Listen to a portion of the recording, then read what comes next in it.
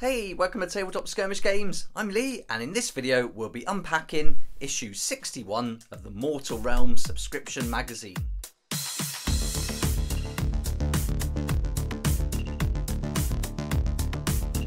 Here we go, here's issue 61 of the Mortal Realms magazine, and in this issue, we're going to be looking at the Sigmarite altar and bridges, the map of the Great Parch in Aqshy, and also Battle in the Realm of Fire. So in the video, we'll unpack this, we'll get all the terrain out and built, and put some miniatures next to it so you can see just how big it is.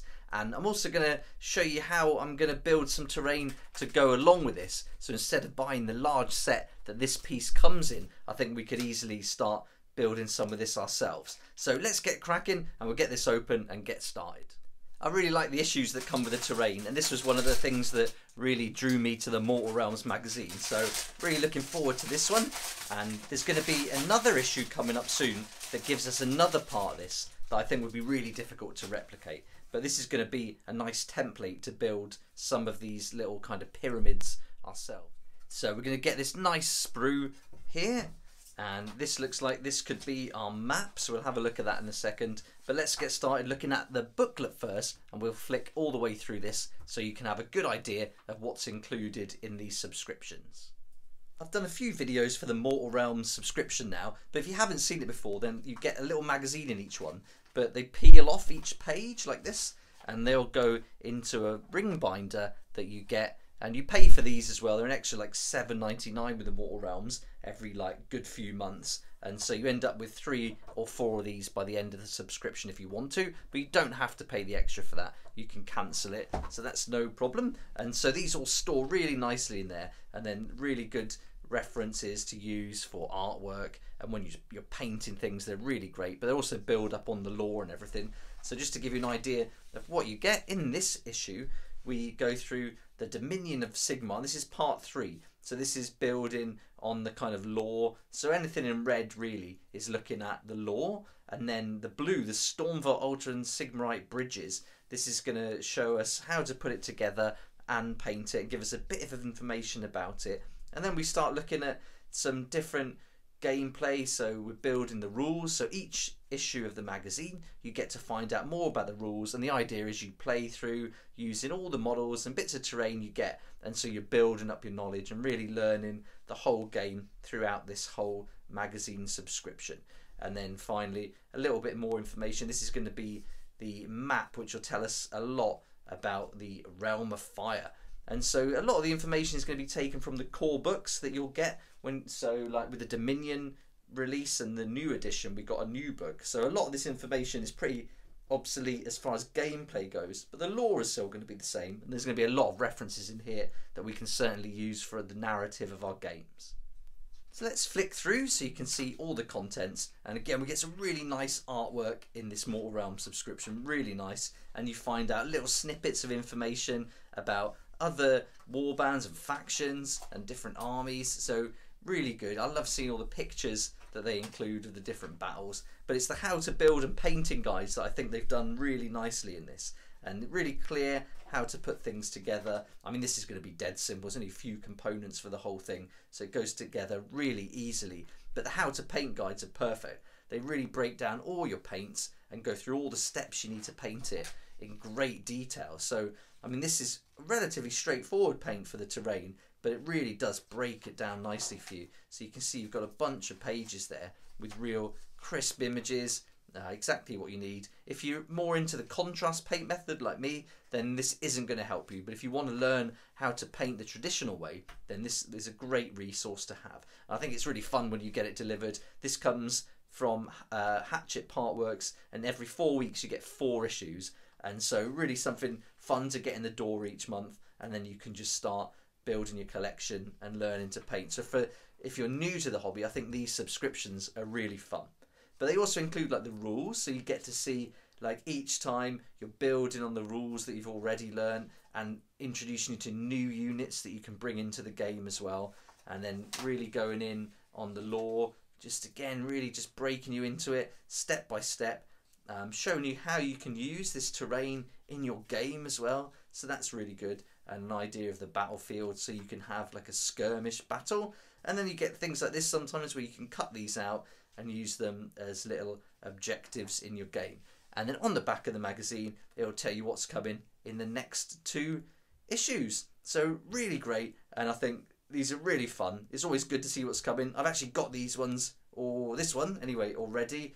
That one's going to come next month. Um, so the skull packs are really great. I mean, getting one of those skull packs for seven ninety nine is awesome, great value. So you can really save on some of these issues. So that's the actual magazine itself, and a good idea of what you get with these in each issue. So now let's have a look at that um, like pull out map, and we'll take a closer look at everything that's included with that. So now we've got this little pull out piece called the Blazing Crusade, and then as we open it up, this is going to give us a large map and some details as well. Again, nice introduction, good bit of reading there. And so this introduces us to this whole realm of fire.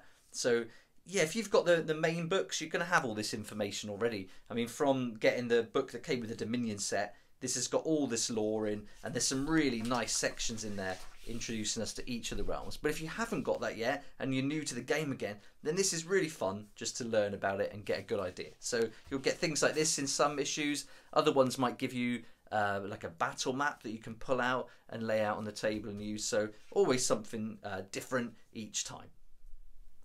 And then finally we've got our sprue that's included this time. So a ton of plastic here. And so this would be from the main set the Shattered Storm Vault set that's available for Warcry. It's included in there and it gives us the smaller of the little platforms, these two bridges, and a couple of little fire lanterns as well. So I'll go away and get this built and then you can see what it looks like put together. And then I'm also going to show you how I think we can make our own terrain to go along with this and then we can add that to the issue that's going to be coming out in the future that also belongs to this set. And I think by using this as a template, we could easily create some really cheap terrain and make it look pretty cool too.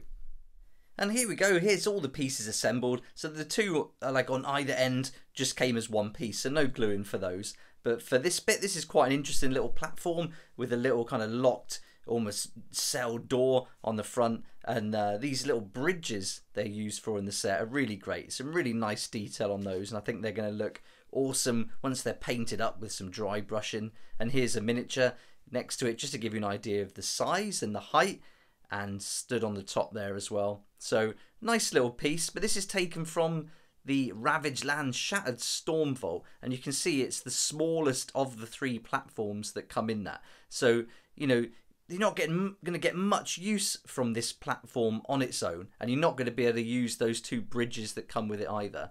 But it's these Gryph-hounds that I really like from this set, and they're actually going to be released as two of them in one of the issues that are upcoming for the Mortal Realms magazine. And here's that issue here. So it's going to be great to have those and this small platform. But I think I've got a good way of creating some of that other terrain if you don't want to buy it.